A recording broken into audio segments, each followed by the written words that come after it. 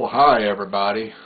Boy, I took uh, before pictures yesterday, and it was unbelievable. I couldn't believe that I have let myself look like that.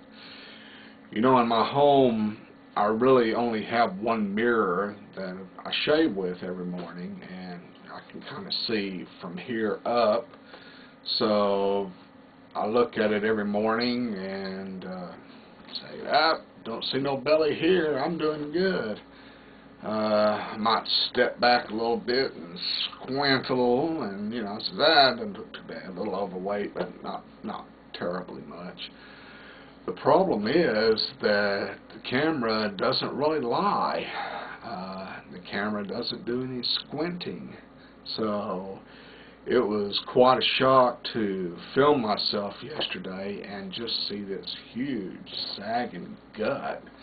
Uh, I couldn't believe it was me. It, it looked like my dad.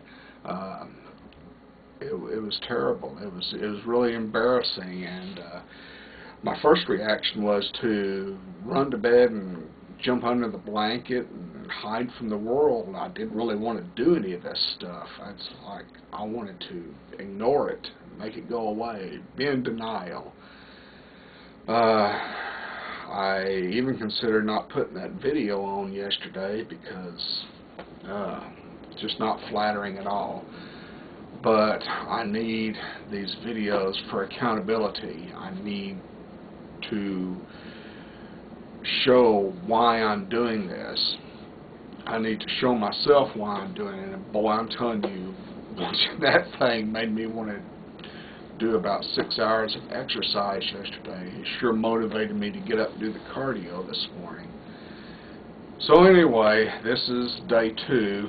Uh, I'm weighing 221 pounds, 221 and a half pounds my waist size is 51 friggin' inches. That's, you know, what, a yard a lard, a yard and a half? I mean, good lord.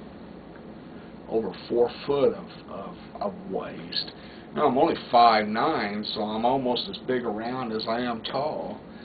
Uh, this is ridiculous. Uh, I got to do something about this.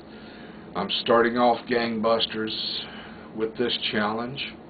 Uh, I plan to do this every day. I'm going by the book and I'll be talking a lot more about the book, the Body for Life book, and I also got the Success Journal that I'm actually filling out this time. But, oh, one other thing. I noticed Sean Simons and uh, several others are, are starting up a challenge on on February the 11th, I believe, and that's great. I'm going to be right there rooting for you. I'll have about a month's head start on everybody. But there there seems to be, I wanted to clarify this for anybody else, uh, there seems to be this conception that the first round of the Body for Life Challenge starts on February the 11th.